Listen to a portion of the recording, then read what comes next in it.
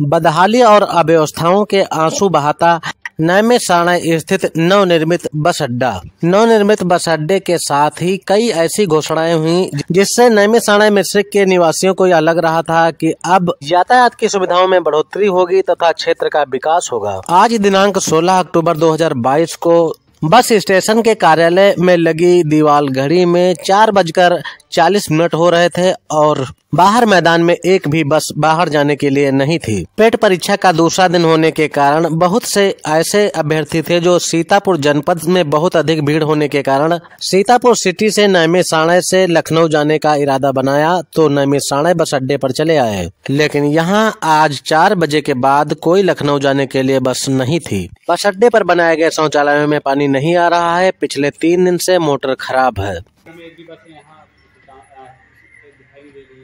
आपको यहाँ से कहाँ जाना था? जाना तो सुल्तानपुर था। सुल्तानपुर से ही आए हुए थे वहाँ पे। अच्छा।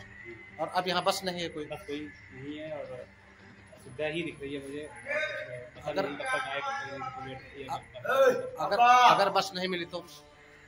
तो फिर कुछ किया जाएगा फ़िलहाल तो अभी इंतज़ार उसी का है। अच्छा अच्छा। कितने लोग आए थे? हमारे साथ तो चार हाँ हाँ। हाँ कहाँ से आप हैं? मैं आंध्रा से हूँ।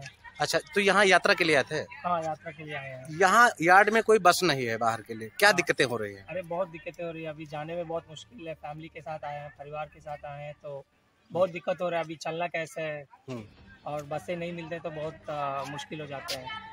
अच्छा ये पहले आपको सोचना थी कि बस यहाँ दिक्कत होती है कुछ ऐसा? और ऐसे कुछ जानकारी नहीं था। हाँ। आ, तो लगा कि मतलब परिवार के साथ आए तो निकल सकते हैं हाँ। और बहुत अभी मुश्किल बहुत मुश्किल हो रहा है। यहाँ एक भी बस नहीं है। यहाँ पे एक भी बस नहीं है अभी। हाँ, हाँ। अभी हम लोग करीब आधा घंटा हो रहा है पर एक भी बस नहीं है। तो खबरों के लिए डाउनलोड करें पब्लिक वाइब।